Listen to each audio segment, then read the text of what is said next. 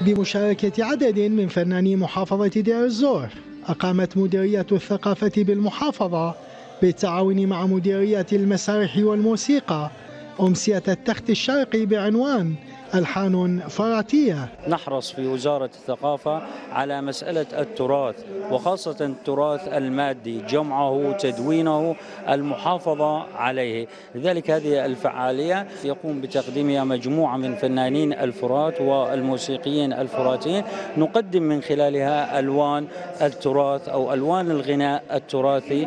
هي مقطوعات من مختلفة تتناول اللي هو التراث اللامادي في مجال الغناء في هذه المحافظة. هذا العمل كان كثير مهم وأنا اليوم كثير مبسوط أنه بدير الزور يعني هاي المدينة اللي لها لها تراث عظيم تراث مختلف حقيقة عن البيئات السورية الثانية.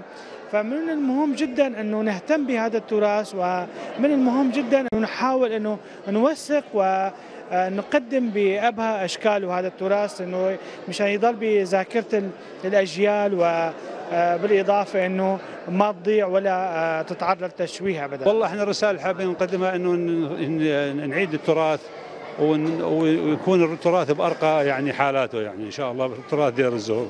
تأتي هذه الفعالية ضمن مشروع نشر وتوثيق التراث اللامادي الذي يهدف للحفاظ على جمالية التراث الغنائي السوري وحمايته من الضياع أو التشويه.